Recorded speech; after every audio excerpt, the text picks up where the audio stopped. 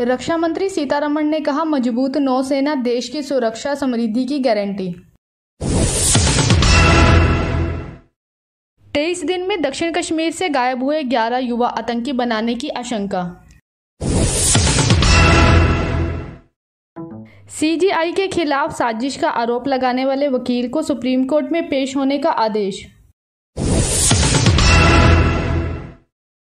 बिहार में कन्हैया कुमार के लिए कैंपेनिंग करने पहुँचे सीताराम बोले राजद से रिश्ता पुराना, मगर यह खेदजनक।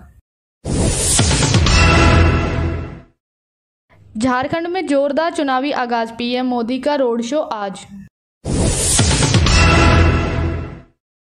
पीएम मोदी की झारखंड बंगाल में रैली आज, बेगूसराय में कन्हैया के खिलाफ गरजेंगे अमित शाह।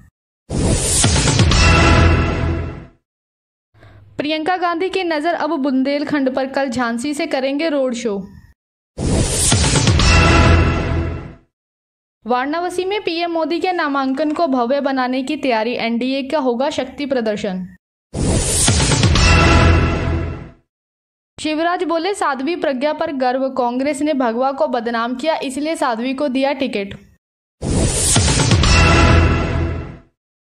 भूकंप के तेज झटकों से धराया नेपाल और उत्तर प्रदेश रिक्टर स्केल पर 6.1 की तीव्रता का रिकॉर्ड।